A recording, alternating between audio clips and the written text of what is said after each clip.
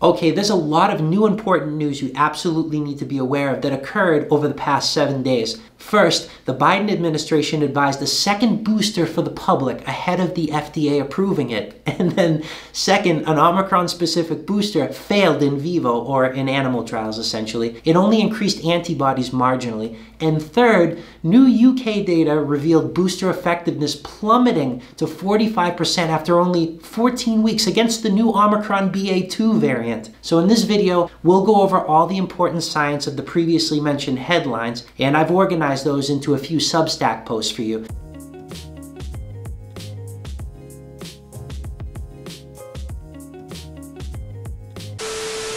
Before we begin, please like this video, subscribe to the channel, and hit that bell in the bottom right hand corner so you can be notified when my new videos come up. Also, click my social links in the description if you want more content like this. I post extra exclusive content on Substack and Patreon if you're interested. Anyways, let's get into this you really need to check out my new Substack posts on the topics we're about to go over. You can find sources and specific details there, so I'll post the links in the description below. But first, let me pull up my most recent Substack post. Hold on one second.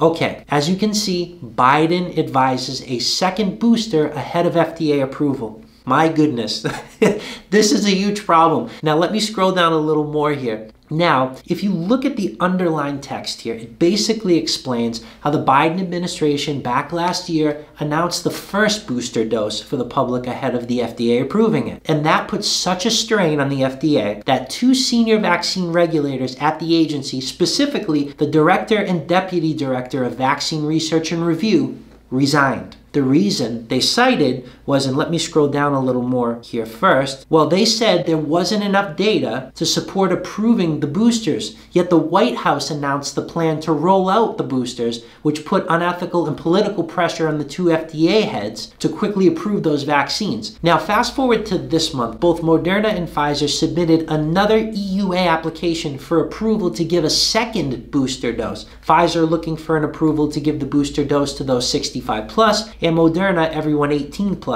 Both with no randomized control trial data. In other words, neither company ran a randomized control trial to see if their vaccines would hit primary or secondary endpoints like reduced hospitalization, death, or even antibody titers. Instead, and let me pull this up, hold on one second, in lieu of running the trials to see if their vaccines were effective in the age groups they were targeting, both Pfizer and Moderna submitted or cited Israeli data instead to justify their booster doses. That's just crazy to me. And the worst part, the data was predominantly applicable to those 65 or 70 plus, I should say. That's bad because submitting data to get your product approved for one age group doesn't mean it's effective for another. Pfizer and Moderna should have run their own independent trials specifically for this occasion. That is how things are done historically. Sadly, even with all that, the FDA is going ahead with reviewing those applications, and this is why people have little trust in public health right now. Okay, now let's hop back to the Israeli data Moderna and Pfizer are using to support their second booster approval. You see, the additional dose shows only a transient effect in protection or a short lived effect over three months, which is a great segue to the next topic, actually. Um, that being waning booster effectiveness. Let me pull up this UK data here real quickly, which is on my other Substack post. One second. So, as you can see, booster effectiveness drops to 45% after only a few months against the new Omicron BA2 variant. Now, I feel a lot of my colleagues don't want to talk about the next thing I'm about to mention because they're scared to be labeled as anti-vax, but this has nothing to do with being anti-vax. And that is, at this point, most people on this planet have had either a symptomatic or an asymptomatic run with multiple COVID variants and also exposure to vaccines. That means most people were likely exposed to every variant which conferred some degree of immunity, whether infected individuals realized they had symptoms or not. And that means, and I'm going to spell it out, what gives you more robust immunity? Exposure to a virus and multiple variants four to five times, or exposure to a small mRNA sequence within a vaccine, which is like 3% of the virus, and mind you, is from the original Wuhan strain. The vaccines have never been upgraded to target new variants, and that's exactly why you're seeing waning vaccine efficacy right now. In other words, a vaccine, even against the original variant, will still generate antibodies, but those antibodies will not recognize the new variant as well. And I feel this is a huge problem because most people realize this and they're losing trust in public health. And we don't want that. Anyways, let me pull up my next Substack post. One second. Okay, now the Omicron specific booster given in vivo, it failed. It generated a very low antibody response compared to a Moderna booster. Now, to elaborate on that, neutralizing antibodies for the Omicron specific booster were in the 2000 range, while the ID50 was just shy of 2000. And sadly, those results were three